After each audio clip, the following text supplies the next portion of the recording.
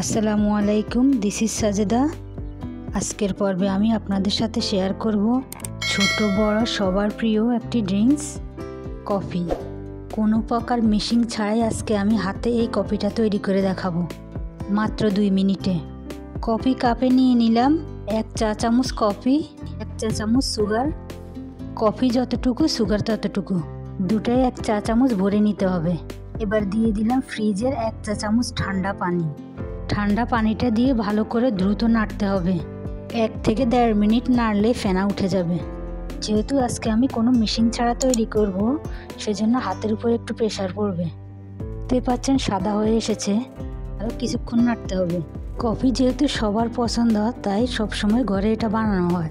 সব সময় তো আর মেশিন ব্যবহার করতে মন চায় না, তাই হাতে এভাবে তৈরি করলে কোনো অংশে স্বাদ কম হবে না। আশা করছি রেজাল্ট ভালোই পাবেন। এক মিনিট নাড়ার পরে এই অবস্থা। মনে হচ্ছে আরেক কিছুক্ষণ এটাকে নাড়তে হবে।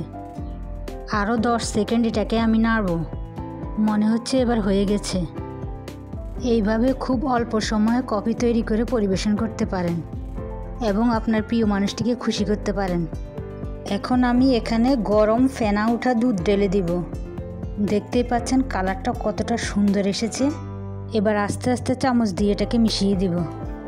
রেডি হয়ে গেল আমার দুই মিনিটের কফি। অনেক সুন্দর একটা কালার এসেছে দেখেই খেতে মন চাচ্ছে। আরও একটু দুধ দিয়ে দিলাম, ডেকোরেশনের জন্য কিছু কোকো পাউডার ছিটিয়ে দিলাম। সাথে একটা গোলাপ দিয়ে পরিবেশন করতে পারেন আপনার প্রিয় মানুষটির সামনে। আমার আজকের পরিবেশনা এখানেই শেষ, আল্লাহ হাফেজ।